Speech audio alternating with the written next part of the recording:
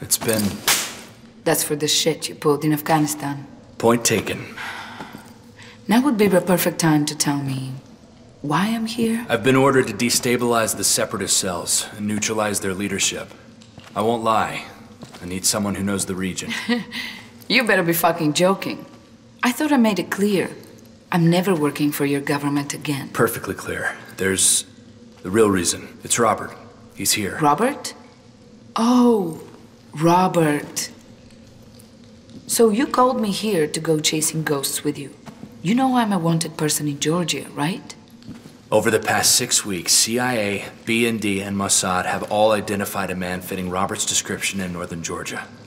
That's it? Jesus, John.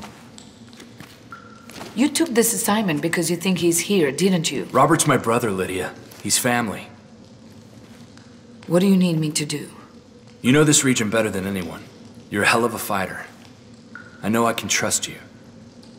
What happened between us in Afghanistan, that was a long time ago. I don't know if it still means anything to you, but I'm sorry.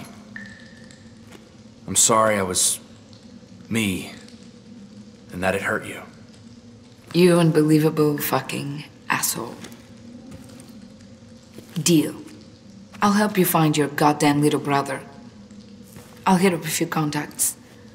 Let them know I'm back in the game. I'll be seeing you, Marine. Another day in paradise.